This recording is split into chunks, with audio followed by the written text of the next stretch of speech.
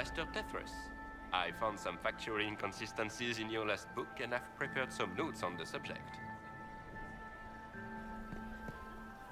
Having fun, boss? I always enjoy canapes while surrounded by people who want to kill me. I didn't realize you were famous. You have plenty of admirers. I didn't know my book sold so well in Orlais. I'm going to have a chat with my publisher.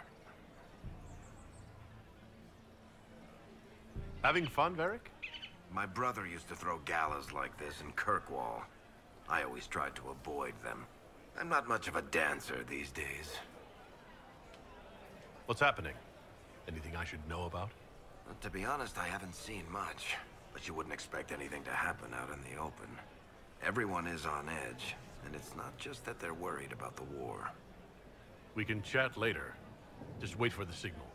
Just give the word, we're ready to move.